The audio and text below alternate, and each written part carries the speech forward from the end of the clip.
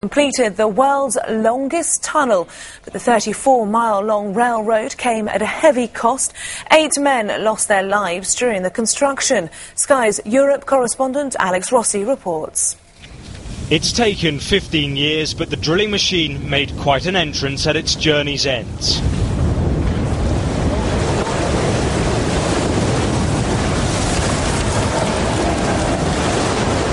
The sight was a moment to savour for the engineers and the realisation of a dream.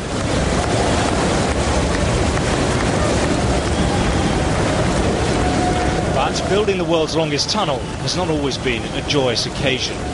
I'm really proud, but I'm thinking also in the eight people who have lost their lives. And uh, that's also very important that we remember that not, of, not all of our workers can be with us. But we are proud and we will be very happy this evening. The tunnel is 34 miles long and starts in the Swiss village of Erstfeld. It travels 8,000 feet under the Alps before reaching Bodio, forming a rail link between northern and southeastern Europe. Journeys from Zurich to Milan will be reduced by almost an hour.